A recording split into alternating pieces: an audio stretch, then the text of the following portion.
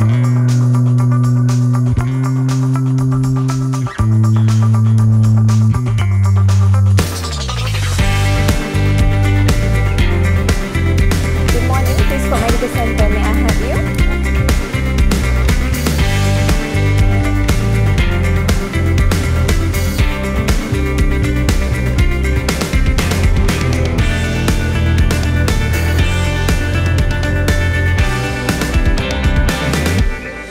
In an acute heart attack, compared to clot-busting drug, emergency coronary angioplasty and stenting result in 25% reduction in death, 64% reductions in recurrence heart attack, 95% reductions in intracranial hemorrhage, and 53% reduction in stroke.